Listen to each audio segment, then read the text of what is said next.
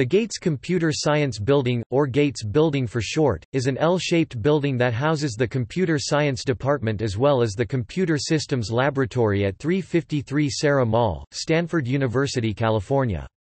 Construction on the building began in 1994 and was completed in 1996 at a cost of $36 million. It was named after Microsoft founder Bill Gates, who donated $6 million for the building's construction. The building is organized into an A wing, the western L, and a B wing, the northern L. It is secured by an IntelliKey system. Blueprints of the building are available online. The building was designed by Robert A. M. Stern Architects of New York City.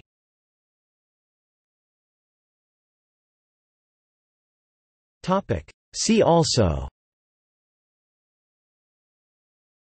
Knowledge Systems Laboratory